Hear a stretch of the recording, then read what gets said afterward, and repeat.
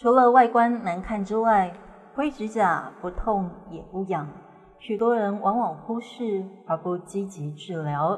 灰指甲是由霉菌感染指甲造成，症状为指甲变色、变厚、变形，容易产生碎屑、指甲分离等。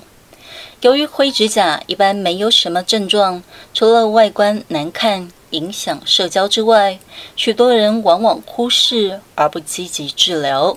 灰指甲其实就是说指甲长癣了，就甲癣就感染到霉菌。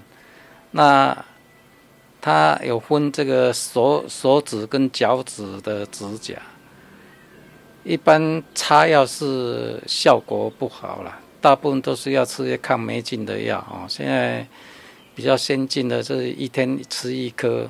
哦，那在脚的话，因为手指跟脚趾的指甲，一般手指长得比较快，超三个月长一公分，那脚趾的话是六个月长一公分，等于是说你吃了吃灰指甲的药，手的话大概要吃三个月，那脚的话它要吃六个月半年。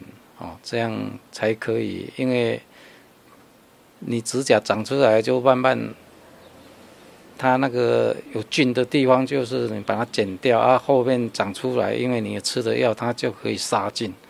哦，所以灰指甲简单讲就是指甲长癣，就是感染到霉菌的意思。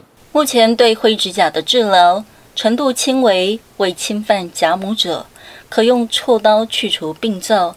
再加上外用的抗霉菌药物，例如抗霉菌指甲油剂，其药液可以穿透甲板，有效浓度保持七天以上，因此只需要每周使用一到两次，涂在患部。治疗时间通常在手指甲为连续用药六个月，脚指甲则需要九到十二个月。十方新闻记者赖一荣。台北采访报道。